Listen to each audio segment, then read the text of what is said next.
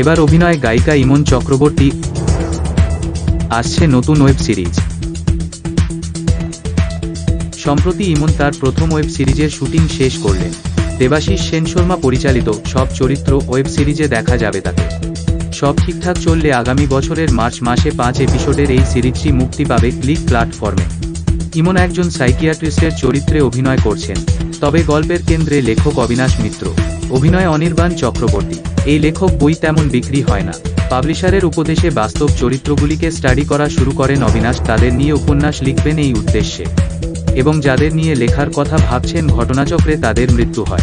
এটা কি অবিনাশের কোনো আধিভৌতিক ক্ষমতা নাকি সবকটাই প্ল্যান্ড মার্ডার অবিনাশ দুর্বিপাকে পড়ে মনোবিদ মৃণালিনীর সাহায্য নিতে যায়। এরপরে ঘটনার গতিপথ ধীরে ধীরে স্পষ্ট হতে শুরু করে। পরিচালক দেবাশিস জানালেন, গত বছর ক্লিক তার সঙ্গে যোগাযোগ করেছিল একটি ওয়েব সিরিজ তৈরির জন্য। নানা কারণে পিছিয়ে যাওয়ার পর সম্প্রতি এই থ্রিলার সিরিজটির শুটিংয়ে হাত দেন তিনি। সব চরিত্র র কাহিনী লিখেছেন দেবাশিস এবং বলাকা ঘোষ। তিনি আরও জানান, শেষ এপিসোডের একেবারে শেষ দৃশ্যে বোঝা যাবে আসল রহস্যটা। তার আগে অনেক কনফিউশন তৈরি হলেও রহস্যের কিনারা করা সম্ভব হবে না। এই গল্পটা ভাবার পর অনেকেই ইনপুট দিয়েছেন, যেমন অভিনেতা অনির্বাণ নিজে। এবং এই ওয়েব সিরিজে প্যান্ডেমিকের সময়টা তুলে ধরা হবে। চরিত্রগুলিকে মাস্ক পরতে দেখা যাবে, বাইসাইকেল কিক এবং অরণ্যদেব এর পরিচালক দেবাশিসের এটাই প্রথম ওয়েব সিরিজ পরিচালক হিসাবে।